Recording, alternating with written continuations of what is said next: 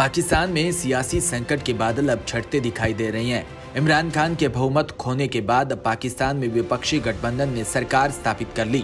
इसी के साथ शहबाज शरीफ पाकिस्तान की नए वज़ीर आज़म बन गए। लिहाजा ऐसे में प्रधानमंत्री नरेंद्र मोदी ने शहबाज शरीफ को बधाई देते हुए दक्षिण एशिया में शांति की उम्मीद जताई, लेकिन उसके जवाब में शहबाज शरीफ कश्मीर का राग अलाप दिया।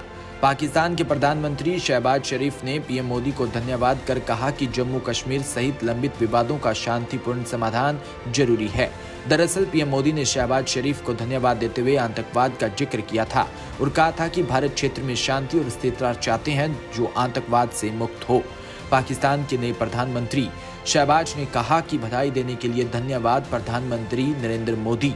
पाकिस्तान भारत के साथ शांतिपूर्ण और सहयोगी संबंधों के लिए इच्छुक है। जम्मू कश्मीर समेत सभी लंबित मुद्दों पर शांतिपूर्ण समाधान अत्य आवश्यक है।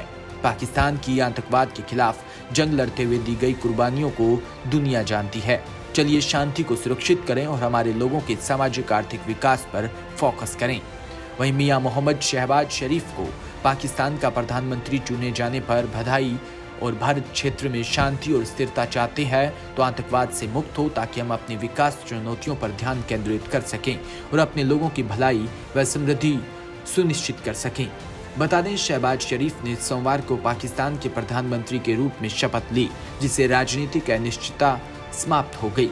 यह विश्वास प्रस्ताव के ज़रिए इमरान खान के अपदसप होने के बाद शरीफ पाकिस्तान के नए प्रधानमंत्री बने। Bureau report, TP K news.